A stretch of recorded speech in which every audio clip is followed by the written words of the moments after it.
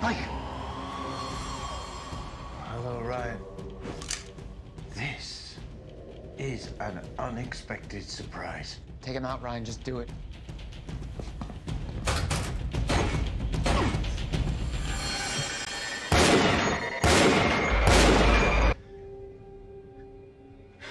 Tell me, Agent Weston, did my boys do this to you? Hmm?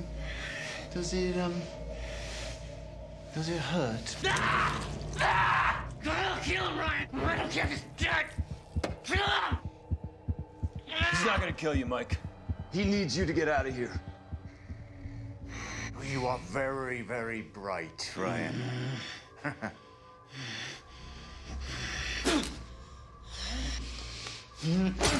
No, no. Don't be crude. Hey!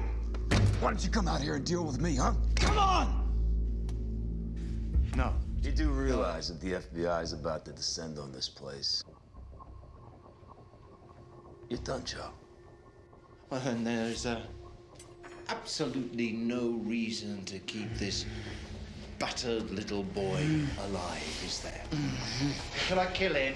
Can I kill him, Ryan?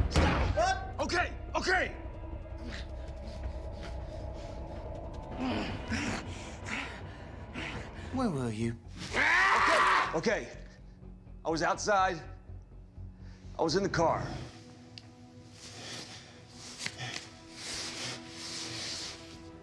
Why do you think